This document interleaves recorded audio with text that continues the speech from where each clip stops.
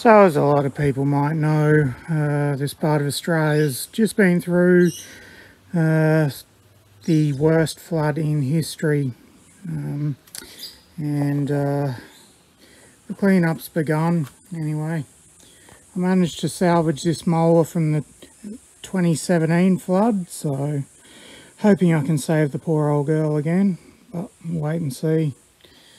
Uh, was under for three days, so not hopeful, but first thing I to do was just pressure clean all the mud and crap off it. You would not believe how bad it stinks.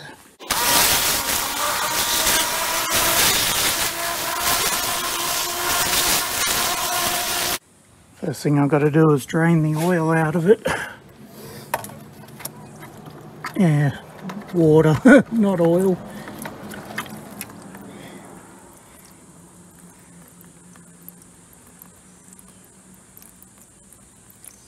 Few smatterings of oil in there. There we go.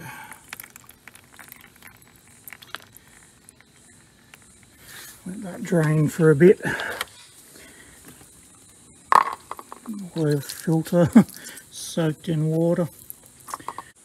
So that's drained the bulk of the oil out of the uh, dipstick tube slash oil filler, but there is a drain plug on the bottom of the motor here which I'm just going to pop out now and leave it sit over a pan overnight. Next up I'm just going to pop the plug out so I can crank that thing over a little bit and get some of the uh, water out of the cylinder.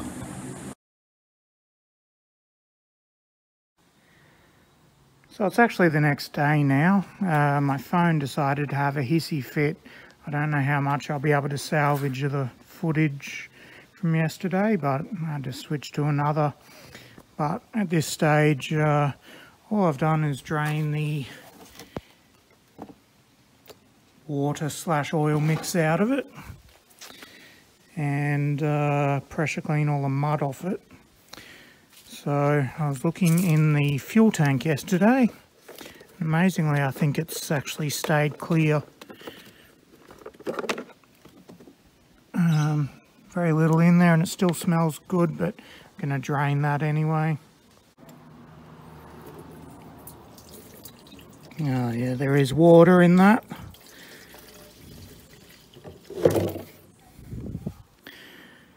Yep, good thing I drained that out, so I'm going to have to drain the carby as well. So with that air filter housing off, you can see the drain plug on the carby bowl here. See, a little bit of water in there. What we'll do now is force some air into the fuel tank, which will push any water in this through and out the bowl there.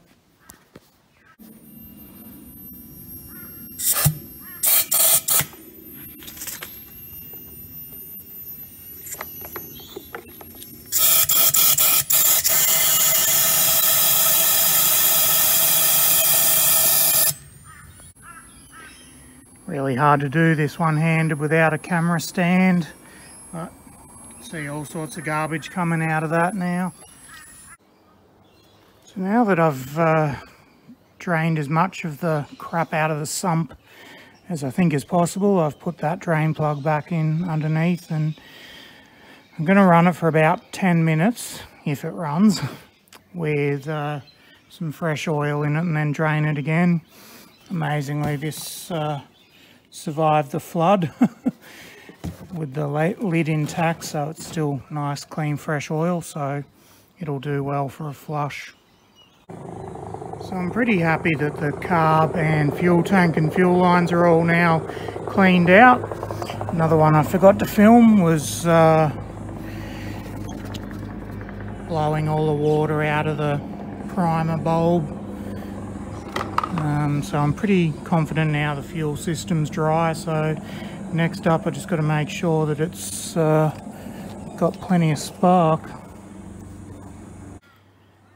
So now it's full of fresh oil again. Uh, just check for spark and it's weak and intermittent, which is Probably because this thing has gone all rusty.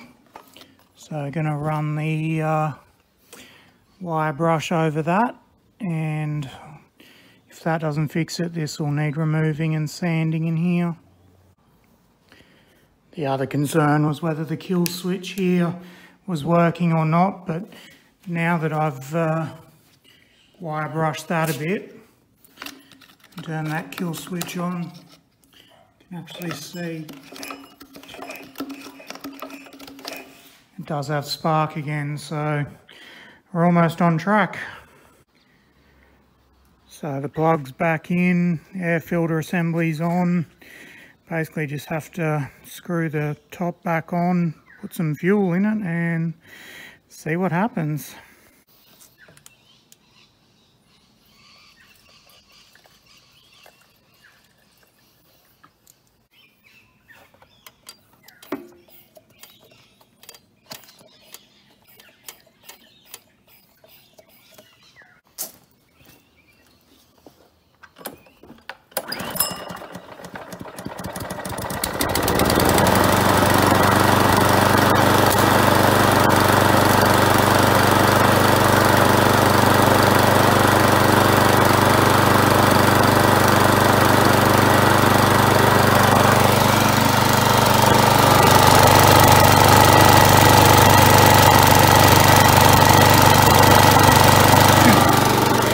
It lives.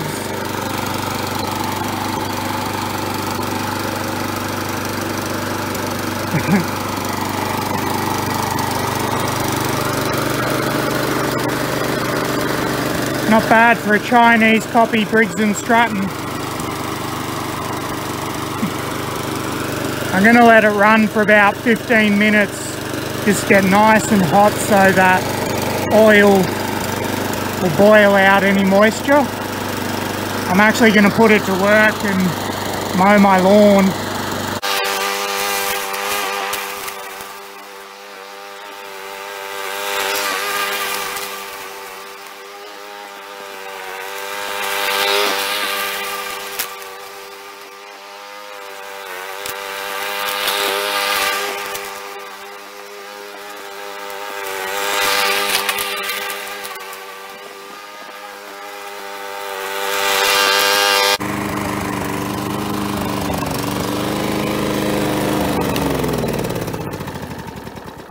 just starting to run out of fuel but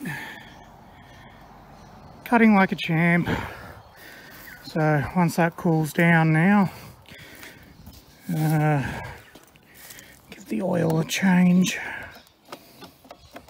Here lots of uh, mayonnaise on it. Lovely. So now while it's nice and hot I'm going to drain the oil out. You can see all the milky residues reason to the top.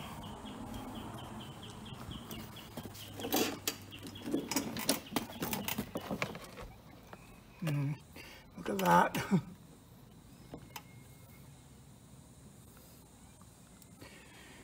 I'll get all that out and same drill I'll pop the um, drain plug out of the sump and let it drain overnight. So this is why you need to do multiple oil changes. As you saw, that was fresh clean oil straight out of the bottle and only run for about 15 minutes. May even need another flush after this one. We'll see what drains out of it overnight.